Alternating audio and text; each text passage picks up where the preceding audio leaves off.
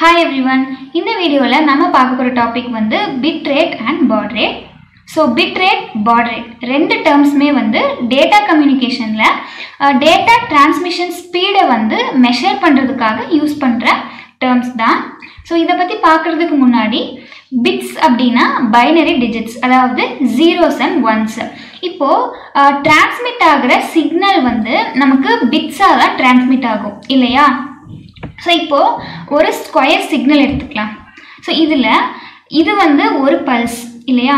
So இது வந்து ஒரு பல்ஸு அதே மாதிரி இது வந்து ஒரு பல்ஸ் ஓகேவா ஸோ இப்போ இந்த பல்ஸை தான் நம்ம சிக்னல் யூனிட் அப்படின்னு சொல்கிறோம் ஸோ ஒரு சிக்னல் யூனிட்டில் என் நம்பர் ஆஃப் பிட்ஸ் வந்து இருக்கும். அதாவது இந்த ஒரு பல்ஸ் மட்டும் ஒரு செட் ஆஃப் பிட்ஸை வந்து கேரி பண்ணிட்டு போகும். ஓகேவா ஸோ இதுதான் வந்து சிக்னல் யூனிட்ஸு ஸோ இப்போ bit rate and baud rate bit rate அப்படின்னா number of bits transmitted per second ஒரு செகண்டுக்கு எவ்வளோ பிட்ஸ் டிரான்ஸ்மிட் ஆகுது அப்படிங்கிறது பிட் ரேட் அதே மாதிரி பாட் ரேட் அப்படிங்கிறது number of signal units transmitted per second அதாவது ஒரு செகண்டுக்கு எவ்வளோ சிக்னல் யூனிட்ஸ் டிரான்ஸ்மிட் ஆகுது அப்படிங்கிறது பாட் ரேட் ஸோ பாட் ரேட்டுக்கு வந்து இன்னொரு டெஃபினேஷனும் சொல்லலாம். So number of changes in signal per second அதாவது ஒரு செகண்டுக்கு அந்த சிக்னல் லெவல்ஸ் வந்து எவ்வளோ தடவை சேஞ்ச் ஆகுது அப்படிங்கிறது பாட் ரேட்டு ஸோ பிட் ரேட்டோட யூனிட் வந்து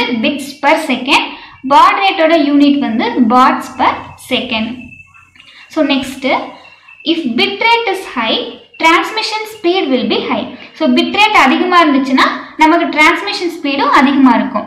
So baud rate is use to decide the required bandwidth for the transmission of the signal so சிக்னலை டிரான்ஸ்மிட் பண்ணுறதுக்கு எவ்வளோ பேண்ட் வித் வேணும் அப்படிங்கிறத டிசைட் பண்ணுறதுக்கு இந்த பாட் ரேட் வந்து யூஸ் ஆகுது. ஸோ நெக்ஸ்ட்டு பிட் ரேட்டோட ஃபார்முலா பார்த்தீங்கன்னா baud rate into number of bits per baud பாடுனா வேற ஒன்றும் இல்லை சிக்னல் யூனிட்ஸ் ஆர் பல்சஸை தான் நம்ம பாட் அப்படின்னு சொல்கிறோம் so number of bits per baud அப்படின்னா ஒரு பாடில் எத்தனை பிட்ஸ் வந்து இருக்குது அப்படிங்கிறது தான். ஸோ இதை அப்படியே ரீஅரேஞ்ச் பண்ணோம்னா baud ரேட்டோட formula bit rate divided by number of bits per baud ஓகேவா ஸோ நெக்ஸ்ட்டு இதை பேஸ் பண்ணி ஒரு ப்ராப்ளம் பார்க்கலாம். The bit rate of a signal is 3000 bits per second. If each signal unit carries 6 bits, the baud rate of the signal is what? அப்படின்னு கேட்குறாங்க so சிக்னலோட bit rate வந்து three thousand bits per second அப்படின்னு கொடுத்துருக்காங்க.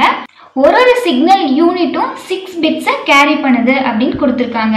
So நமக்கு number of bits per baud வந்து six so baud rate of the signal என்ன அப்படின்னு கேட்டிருக்காங்க.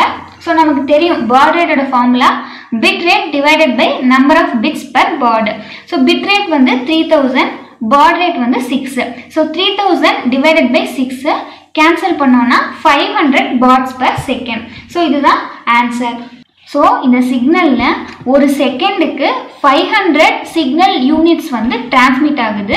ஒரு ஒரு சிக்னல் யூனிட்டுமே வந்து சிக்ஸ் பிட் கேரி பண்ணிட்டு போகுது. ஸோ டோட்டலாக ஒன் செகண்டுக்கு த்ரீ தௌசண்ட் பிட்ஸ் வந்து டிரான்ஸ்மிட் ஆகுது. ஓகேவா ஸோ இந்த கான்செப்ட் உங்களுக்கு கிளியராக புரிஞ்சிருக்கும் அப்படின்னு நினைக்கிறேன். தேங்க்யூ